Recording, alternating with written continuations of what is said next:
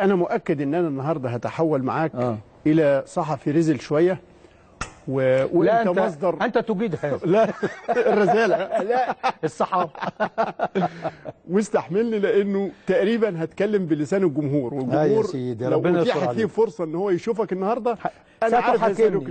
أنا عارف هيقول لك إيه بس خليني أقول لك إنه كابتن عبد العزيز عبد الشافي المدير الرياضي للنادي الأهلي وعضو لجنة الكره أعلن قبل قليل ضم النادي الأهلي.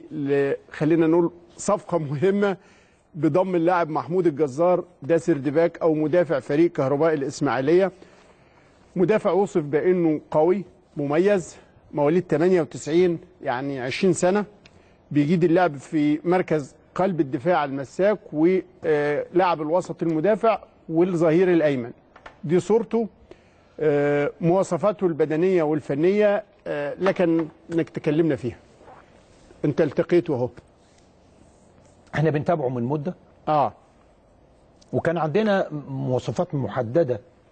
امم وعشان كده كنا مركزين على مدافعي آه، سموحة. الأسعار لما أصبحت خارج الإطار الاقتصادي. بالنسبة لنا ما هنلعب ما نلعب الدور اللي بيلعبوه الأندية دي.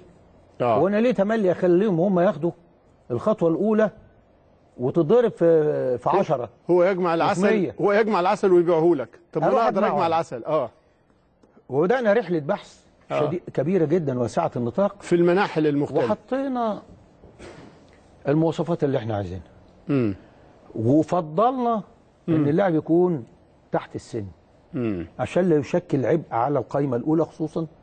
صحيح. آه، في 25 القائمه بقت 25 ودي نقطة. وياخد فرصة للتجهيز مع النادي بقى. لا. أهم من الفرصة. أنت دلوقتي الناس قد مدفوعة ب ب ب ب يعني حمى الصراع. بحم بحمى ال- المنافسة. المنافسة والصفقات.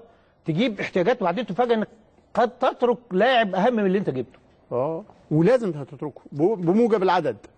بموجب. فأنت نمرة واحد بتقارن اللي أنت جبته ده باللي عندك. لازم باللي عندك. طب اللي عندك ده جاي له عقد إعارة هيجي فيه قرشين. وأنت مش عايز تطلعه وهو يعني ممتعض يعني. طب لو جبنا واحد قريب منه يلعب الدور بتاعه أقدر أطلعه؟